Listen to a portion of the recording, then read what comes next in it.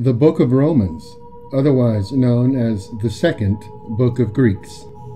Chapter 1 And there was another tribe of apes who called themselves Romans. The Romans learned how to make temples and monuments, and inscriptions in stone, and wars, and slaves, and money, and were therefore civilized and believed that they had been chosen by the gods as the chosen tribe,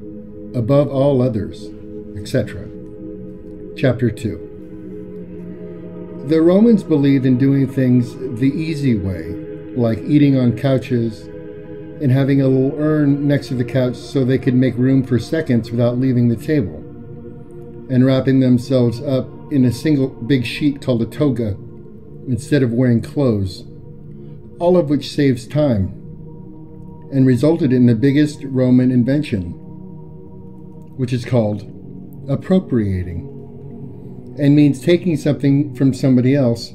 changing its name when nobody is looking, and then pretending it was yours all along. And so they appropriated as much as they could from the Greeks, like all the Greek gods and goddesses, and most of the Greek myths, and comedy and philosophy and history, especially history, which has a way of happening all by itself, whether you do anything yourself or not. And also, maybe not as much philosophy as comedy, because philosophy isn't easy, which is why the Romans actually had to make up some philosophy of their own to introduce the idea that if a thing isn't easy, it isn't worth doing at all. Chapter 3 But the Romans also knew that somebody had to do the work, or it wouldn't get done at all, because they certainly weren't going to do it, which is why they invented two classes the patricians and the plebeians.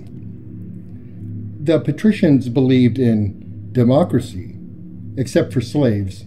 not including women, or plebeians, and so set up a republic, which means that everybody is free and has a vote, unless you're a slave, or a woman, or a plebeian.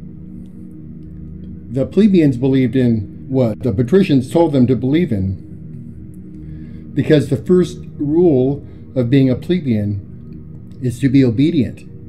especially to the patricians, who must know, or why would they have all that money? Chapter 4 The Roman democracy had a senate, where all of the senators wore togas with purple edges, and made great speeches to each other and to the consuls, who were elected to run things. There were always two consuls, because the Romans didn't believe in kings, who had a habit of being untrustworthy, which the Romans didn't approve of at all, since life gets difficult when you can't trust the king, and life isn't supposed to be difficult, but easy. So the Romans elected two consuls, so that they could keep an eye on each other, and the patricians wouldn't have to do it. Chapter 5 But there was a lot to do, so the plebeians were kept pretty busy, building temples and monuments with stone inscriptions and so forth, all over the place, not to mention aqueducts, and bridges, and roads, so that the Roman legions could march out and conquer everybody who believed in the wrong gods, or who believed in the right gods under the wrong names. And so it was that the Romans invented a very important new concept called division of labor, which worked very well. For example, the patricians would think up a huge engineering project, and then the plebeians would build it. The patricians would think of somebody to have a war with, and then the plebeians would fight it. And sometimes they would even do things the other way around.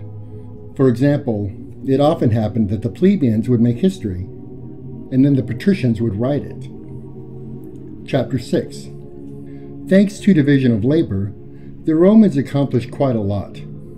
The patricians decided the world wasn't big enough for Rome and Carthage to be in it at the same time.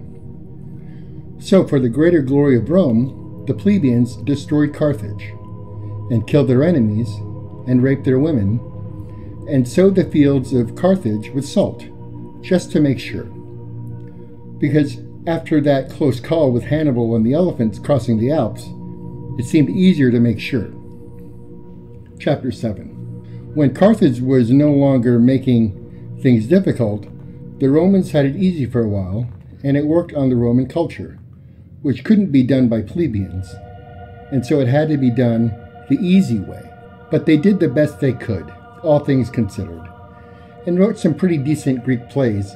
and some pretty indecent Greek poems, as well as some new Greek myths, like the one about Aeneas, who escaped Troy in the general hilarity caused by the Trojan horse joke, and started wandering all over the place, something like Odysseus, in fact, a lot like Odysseus, only when he got home, Aeneas didn't kill all his wife's suitors, but founded Rome instead, which would make the Romulus and Remus thing sort of confusing if you thought about it, which is hard to do, and therefore contrary to Roman philosophy. Chapter 5 The Romans were also good at sculpture and painting because they were very fond of looking at themselves, just the way they were, whatever they happened to be doing, since it's so much easier that way and so the Romans made sculptures that were not exactly beautiful, but real, including warts and so forth. And they painted sex scenes on the walls of Pompeii because it wouldn't do to forget how to have sex. And having huge colorful reminder all over the walls of a house makes it pretty easy to remember. Chapter 9 And things went on for quite a while this way, without much history going on and life was good, which is to say easy, unless you happen to be a slave, or a plebeian, or not a Roman. Chapter 10 But history has a way of happening all by itself, whether you do anything yourself or not. And so it happened that democracy didn't work out, which shouldn't be too surprising, since we all know what happened to the Greeks. But the Romans didn't worry too much about democracy in spite of what happened to the Greeks. After all, the Romans knew that they were the chosen tribe, and much more chosen than the Greeks had ever been, because all the Roman gods and goddesses said so, and they should know. Being pretty much the same gods and goddesses the Greeks believed in, except for the Roman god named Janus, who had two faces and was completely unknown to the Greeks, for some reason. Although nobody should be surprised to discover that the Greeks didn't know everything, because how could they have gotten the names of their own gods so wrong? What with Zeus really being Jupiter, and Hades really being Pluto, Poseidon really being Neptune, and Ares really being Mars, and Aphrodite really being Venus, and Hera really being Juno, and Artemis really being Diana, and Apollo really being Apollo, which just goes to show you the Greeks weren't wrong about everything. Chapter 11. For example, the Greeks weren't wrong about how the chosen tribe needs to rule the whole world, which is why there was Julius Caesar, who was a consul for a while and kept his eye on the other consul. This was good practice for the triumvirate, which means rule by three apes, and kept Julius pretty busy keeping his eye on Sulla and Pompey until Pompey's head accidentally wound up on a pointed stick, and something else happened to Sulla. And Julius Caesar crossed the Rubicon for some reason and became dictator of Rome, which was when they stopped calling him Julius and started calling him Caesar, or even Mr. Caesar, which changed history. Chapter 12. In fact, Caesar was pretty interested in history and spent most of his time making it when he wasn't making it, he was writing it to make sure they got it right. And so Caesar divided Gaul into three parts and kept all three parts for himself to make sure that nobody else could get any, which made it safer for him to leave town for a while and conquer the Brits and the Krauts and the Spics and the Gypsies, where he met Cleopatra in a rug, and the rest of the world too, pretty much the same way Alexander had done it, since Caesar knew a thing or two about appropriating himself chapter 13. And when he got back, the senators suspected that Caesar was ambitious for some reason. They thought he wanted to be emperor, which is much worse than being dictator for some reason. and so they stabbed him 22 times in the Ides of March, and once more just to make sure. And then they had a big war and buried Caesar and all his friends, including even Antony and Cleopatra, and finally made Augustus the Emperor of Rome, which made everything all better for some reason. Chapter 14 Augustus turned out to be a pretty good emperor, having discovered that if you don't start a war with your neighbors,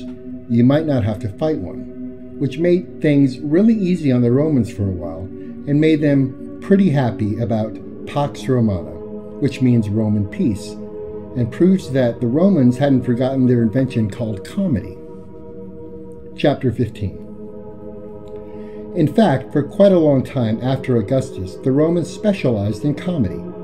having discovered that it's pretty easy to be funny when you have an emperor who is a living god with absolute power over everybody, including the patricians.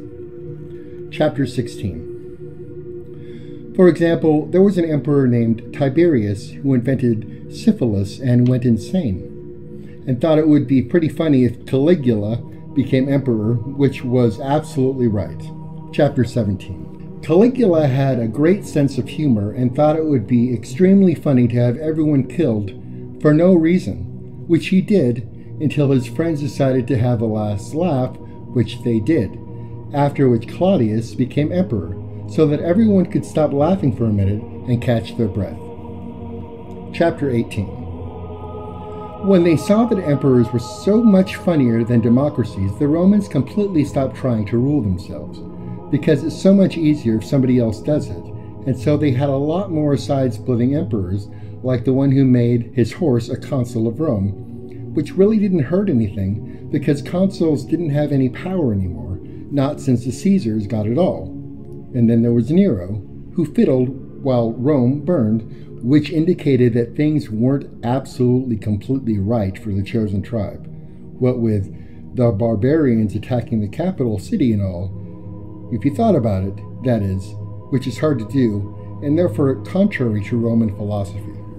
Chapter 19 And so the Romans came up with a new joke called the decline and fall of the Roman Empire, which took a very long time and had everyone rolling in the aisles. For example, the Romans thought it would be pretty funny if the legions that everybody depended on for protection didn't have any Romans in them, but barbarians, since even the plebeians had discovered that being in a legion is hard work and leaves too little time for bread and circuses, which was a hilarious Roman pastime that involved thousands of apes watching gladiators hack each other to pieces or thousands of apes watching heretics get eaten by lions, or thousands of apes watching practically anything involving lots of blood and death. Chapter 20 The Romans got very good at thinking up new ways to make the decline and fall funnier. For example, they appropriated a new religion called Christianity, which started in a poor Roman province when a Roman crucified the Messiah, whose name was Jesus and who believed in love thy neighbor and so forth, which was a pretty dangerous idea in Rome since it isn't always easy to love thy neighbor, especially when you own all thy neighbors, and have killed a lot of their friends and relatives and are pretty sure they don't love you either. But to pull off a good decline and fall, you have to take some chances, so the Romans decided that they were Christians too, which made it easier to justify not fighting the barbarians who were sacking Rome every time they thought no one was looking, proving they'd learn a lot from the Romans already. Chapter 21. And so the Romans started going to church a lot and learning a lot about guilt and suffering and pain and trying hard to please the new God who had created everything all by himself and therefore had to be capitalized all the time, including pronouns, and who really loved his chosen tribe, which included all the apes for some reason, and he showed his love by sending his only son to earth so that he could be killed by the apes, proving that love thy neighbor is the way to go or something. Nor is this all the Romans learned from Christianity. Chapter 22. For example, they learned that life is not supposed to be easy, but hard, or else you won't go to heaven where everything is perfect, but to hell instead, where everything is really lousy and where you're sure to go if you've committed too many sins. They also learned what sin is, sin being everything that feels good, which makes it easy to recognize sin, but since nothing is supposed to be easy, it's more complicated than that, which is why it's so important to have priests who can explain everything. Chapter 23. And meanwhile, the empire kept declining and falling as the barbarians kept on appropriating more and more Roman provinces and cities and so forth, not knowing that they were committing a sin by loving things more than God, especially Roman things, which were supposed to be exempt, because Jesus said, Render unto Caesar what is Caesar's, hadn't he? But the priest explained that it was more complicated than that, which made it all okay, and the empire continued declining and falling for many more volumes. Chapter 24. Then finally, everybody was completely confused, and the barbarians were acting like they owned the place, and the Romans were learning a lot every day about sin and guilt and suffering, and the priests were smiling more and more because the barbarians were starting to ask questions about Christianity, and were obviously going to need a lot of help before they got it right. And the emperor was thinking that life might be easier if the capital of Rome weren't Rome, but some other place, maybe farther east, where there weren't quite so many pushy barbarians, and so they closed Rome, and the emperor moved to a new city, named after himself. And the Romans stopped being Romans, and stopped being chosen, and became Italians instead, which is another story altogether, but equally funny in its own right.